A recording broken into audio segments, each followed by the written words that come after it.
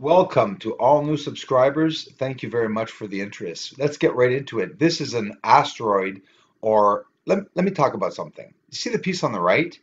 There's like an apple bite. Looks like a planet with a piece missing out of it. And what's to the left of it? Could it be that part of the planet? Or could it be debris? Are we looking at one object or are we looking at two objects? I'm very fascinated by this one. Um, it was seen over top of the moon when Aldebaran kissed the moon this summer, 2017, and what we're seeing is a beautiful array of red color, but in reality, taken down like this in high dynamic range and in black and white, we can see the clarity. Look at it now. There's debris around it. Either debris, either debris or the object is just dark and we're not seeing that it's just one object. It could be two pieces, it could be one piece. I don't know, but this is something that is not small. It is very big. Whether it's close or not, that we just can't know. We can't know exactly. Um, I'll tell you one thing is I've never seen it in, the field of view over the moon because it was about three times the four times the size of the moon um, with the cloud around it. Asteroid 2017 U1 uh, declared by NASA uh, in the lower atmosphere. Uh, thank you, by the way, NASA.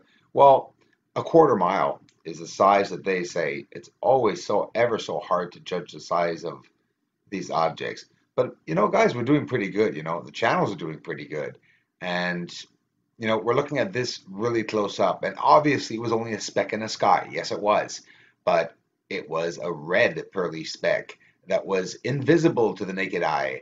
And in the photo, uh, wow, it was this big. It was just humongous. This beautiful unknown object that I call it visiting the sun. Basically, an asteroid or a planet, it can't be an asteroid, it would be a planetoid. Uh, no, it's planet sized, it's gigantic. You know, um, I'm declaring by guessing, possibly, I'm saying it quietly, bigger than Earth.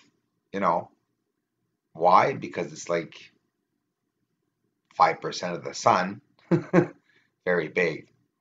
Beautiful radiating object in the lower atmosphere, but in the center we have this um, uneven object that looks pretty rocky. And what we look around the edge here, we see a lot of thick, thick uh, gases, or what maybe is possibly even part of the sphere, the planet. But when when I see these big radiating lights like this in the sky, it doesn't mean that it's the whole planet that size. It could also mean that there's a light radiating around um, the object.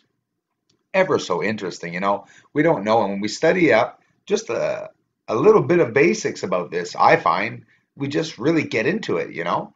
Um, listen to what scientists are finding. Listen to the the uh, the controversial topics that scientists have amongst themselves in the world, and you come to your own conclusions. It's very interesting if you are interested in finding the truth, and if you have something inside, or maybe someone guiding you, well, just let it go, let it pull you. And I'm doing just that. I'm showing what I'm finding without, uh, no matter what I say it is, guys, you know, it doesn't have to be what I'm saying it is. I'm just giving an extra analysis. I'm like you, I'm curious, and I'm I'm guessing myself as what these things are, right?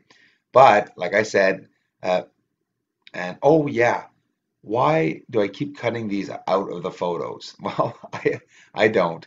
Uh, these sometimes are on the edges of my photos, half cut out, or you know, because I, I, don't see them.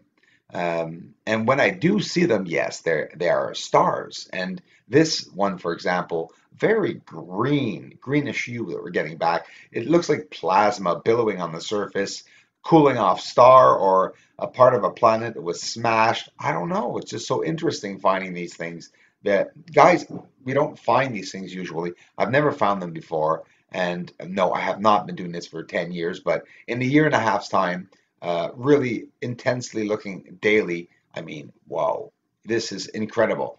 It happened spontaneously for me during the month of June.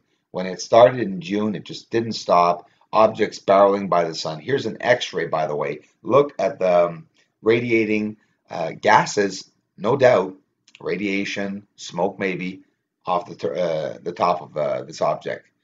Rigel star in the constellation of, of Orion. Guys, I'm showing this one again, different view, but I'm showing it even closer, even clearer.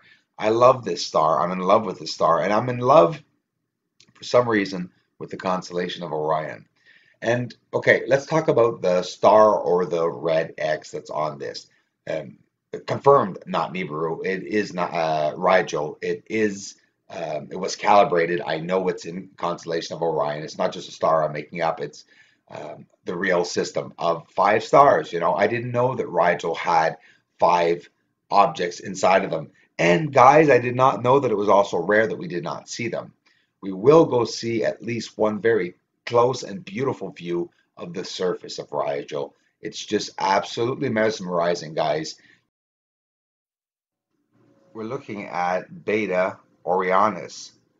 It's the brightest um, star, generally the seventh brightest, sorry, star in the night sky. And the brightest star in the constellation, yes, of Orion.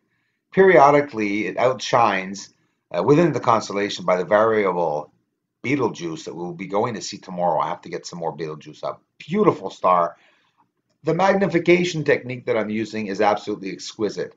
These are real stars. They're not fake stars. They're calibrated stars. Uh, sorry, and photos. The photos are calibrated. So yes, I am, and I know that I'm in a constellation. They're real photos. The photos I'm getting from astrophotography, like anyone else could do, just applying my own technique to it. Rigel A, uh, Rigel B, um, a companion, Rigel B, 500 times fainter than the supergiant Rigel A, visible only with a telescope. I didn't use a telescope, guys. I really have to say a special thank you to all of you who are connecting with me. You're not going to regret it. Uh, the findings that happen here are absolutely amazing. Um, I feel I'm guided most often uh, to find these things, and it's never ending. It doesn't stop. And of course, now I'm doing the sun, the moon, and the stars, so I'm always busy. And when it's a rainy day, I have plenty of footage, both footage and photography that I've not seen yet. This is a way of presenting photography.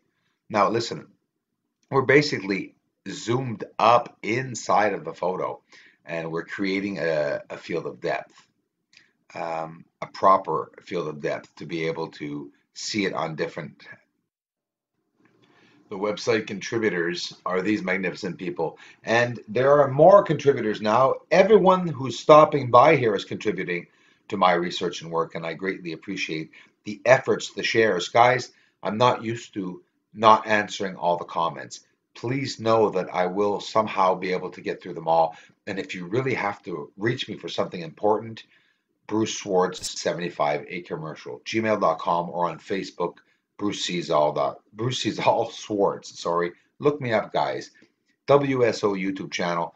Thanks a lot for interacting with me. Everyone, please take the time if you would like to see what others are finding out in the sky and what Steve Olson is finding out. Um, and if you want to interact with the magnificent community, they're probably a lot of them are already here right now and they're coming and flooding our channel. And these are the great people that we're seeing in the comments.